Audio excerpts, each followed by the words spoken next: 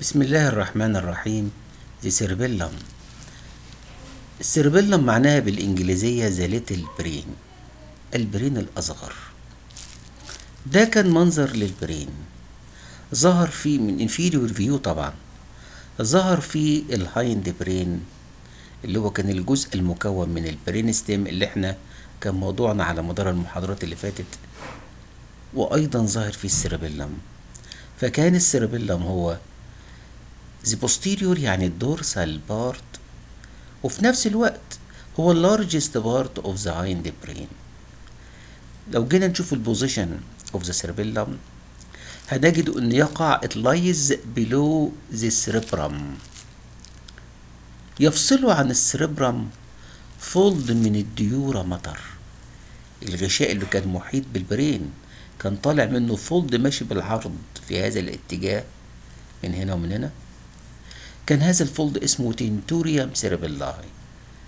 فكان ال cerebellum يقع below the tentorium cerebelli اللي كان بيفصله عن ال cerebrum أو ال cerebral hemisphere في نفس التوقيت كان ال cerebellum يقع behind the brain stem وكان يفصله عن ال brain stem اللي كافة الشهير المعروف بال fourth ventricle إذا ال cerebellum محمي من أعلى fold من ال dura.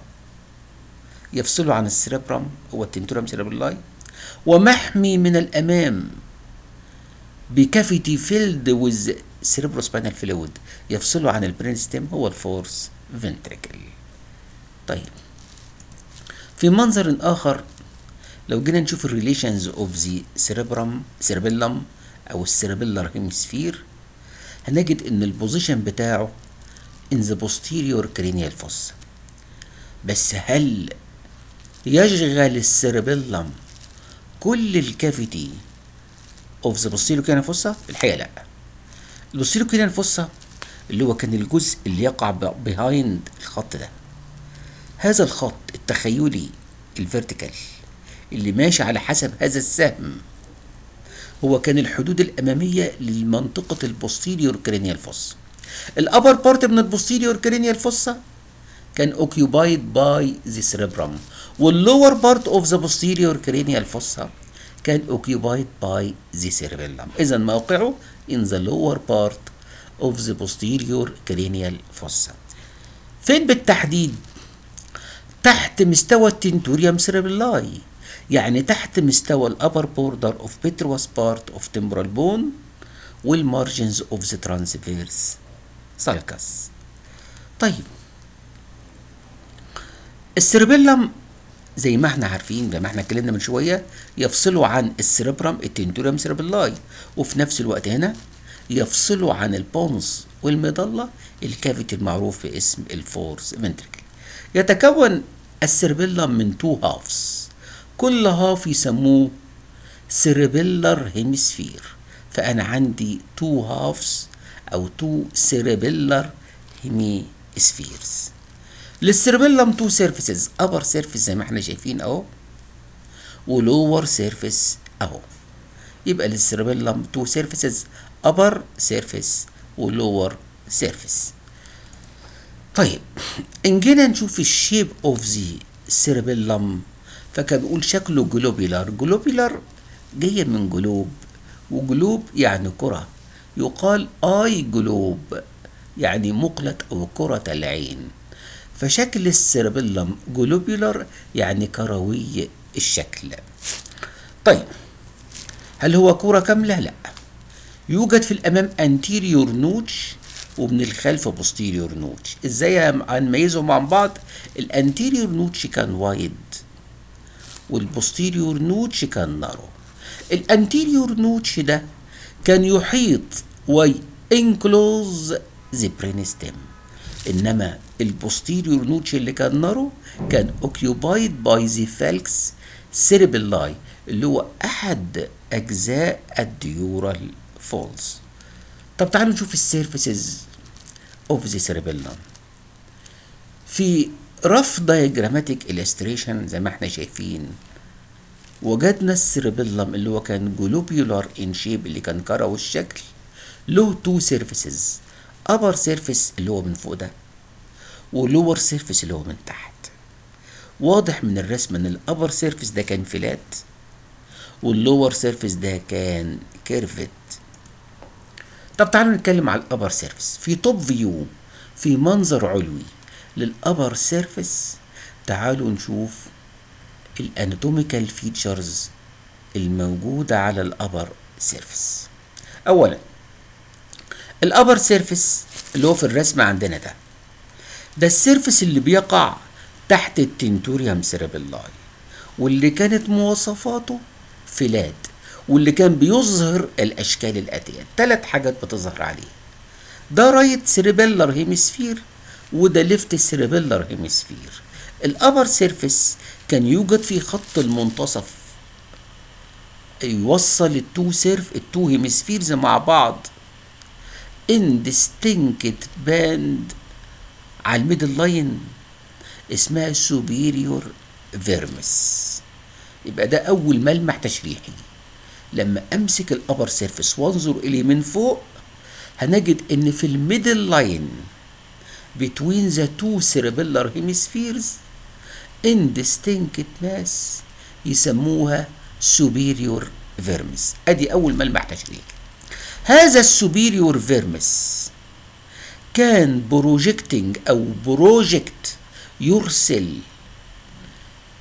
process في الاتجاه الأمامي ناحية ال anterior notch كان هذا ال process كان conical shaped يبقى it projects conical shaped mass هذه ال conical shaped mass متجهة للأمام ناحية ال anterior notch في اتجاه ال superior medullary velum اللي هو ال membrane اللي كان موصل ال two superior cerebellar peduncles هذه ال conical mass اسمها ال lingula يبقى ده الملمح التشريحي الثاني الملمح التشريحي الثالث هنجد ال upper surface of the cerebellar of the cerebellum كان مشغول بعدد كبير من ال fissures كان أكبرهم وأشهرهم fissure اسمه primary fissure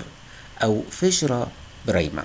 يقع عند اتصال ال anterior 1 third بال posterior 2 thirds of the upper surface ويقسم ال upper surface ل two parts anterior part اسمه anterior lobe و posterior و middle و posterior part اسمه middle lobe posterior part على ال upper surface لكن بيسموه middle lobe يبقى اذا ال upper surface في ثلاث حاجات.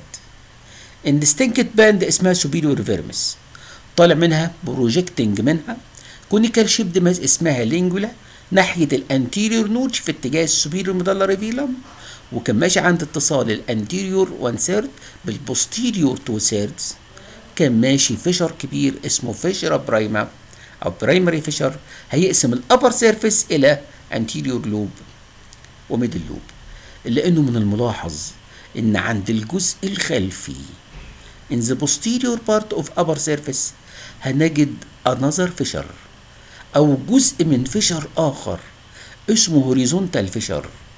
جزء صغير منه بيظهر عند ال posterior end of the upper surface أما الجزء الأكبر فيظهر من تحت وده كمان ملامح ال inferior surface إذا إحنا شفنا الثلاث ملامح الأساسية المكونة لل anatomy of the upper surface of the cerebellum طيب ال anterior lobe اللي هو كان بيقع أمام ال fissura prima ده كان connecting لل spinal cord وكان مختص بال control of the muscle tone أما ال middle lobe اللي كان بيقع behind the fissura prima ده كان connected to the cerebrum وكان ده مختص ب regulation of the fine movements دي كانت ملامح ال upper surface طب لو جينا نشوف ال lower surface اللي هو الشهير بشكله ال curved طيب إحنا هنرسم ال two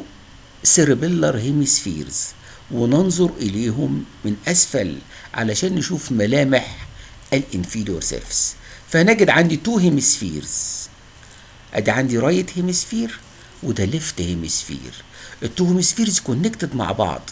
بس إلا إن من ال inferior surface هنجد إن الملامح التشريحية بتاع هذا ال surface اللي هو كان curved هنجد فيه big أو deep depression هذا ال deep depression يفصل ال two surfaces أو ال two hemispheres عفوا عن بعض.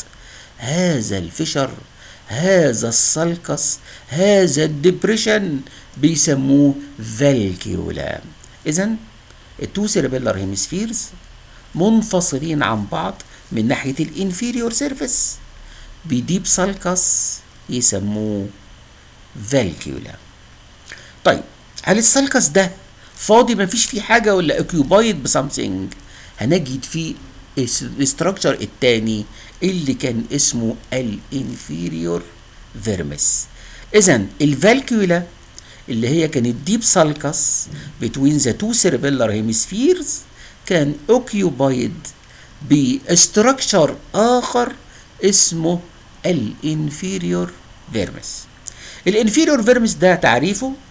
ده كان prominent worm like mass أو band مكونة من جزئين anterior part اسمها uvula و posterior part كان اسمه pyramid والاتنين بيكونوا ال inferior vermis اللي كان بيشغل ويقع بداخل ال vallecula اللي هي ال big depression أو ال big sulcus between the two cerebellar hemispheres. طيب. At the sides of the inferior vermis هنجد two rounded masses. ده على ال sides يسموهم ال tonsils ثم أمام ال inferior vermis هنجد lobe شكله غريب.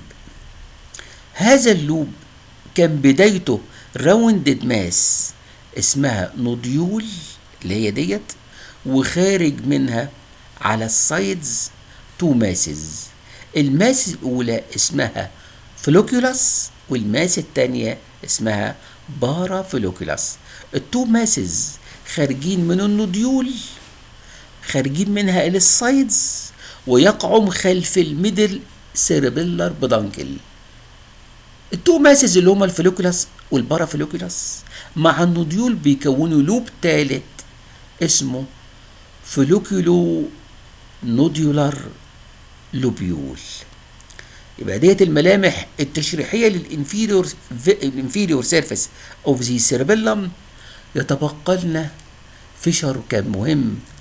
خدنا منه جزء في ال upper surface اللي هو كان ال horizontal fissure أما الجزء الآخر من هذا ال big fissure يظهر على ال inferior surface وكان اسمه ال horizontal fissure اذا ال horizontal fissure أساسا موجود على ال inferior surface of the cerebellum لكن كان بيظهر منه جزء آخر في يقع في نهاية ال upper surface of the cerebellum ال flocculonodular lobule اللي هو ال lobule الثالث ده كان connected مع ال vestibular nuclei وكان مختص بال control of equilibrium. ديت كانت الملامح التشريحية بتاعة ال inferior surface of the cerebellar hemispheres أو of the cerebellum. في منظر طبيعي هنجد هذا ال cerebellum ال cerebellar hemisphere وده ال cerebellar hemisphere على الناحية الثانية وهذا ال big depression اللي بدايته كانت من هنا ويغوص في العمق حتى هذا المكان اللي كان اسمه ال vallecula وكان هذا هو ال inferior vermis بجزئيه ال uvula في الأمام وكان ال pyramid في الخلف بيشغلهم ويحتلهم ال vallecula اللي هو ال deep sulcus اللي يقع the two cerebellar hemispheres ثم على ال sides of the inferior vermis فكنا هنجد ال tonsils وأمام ال inferior vermis كنا هنجد ال nodule أو الفوليكولو نوديولار لوبيول المكون من nodule في النص وطالع منها flocculus و paraflocculus على ال sides واللي بيكونوا مع بعض ال lobule مختص بال equilibrium اسمه flocculonodular lobule ديت كانت الملامح التشريحية لل two surfaces of the cerebellar hemispheres أو of the cerebellum. وإلى أن ندخل بعد ذلك في ال internal structures هنقفل على هذا الجزء من ال external features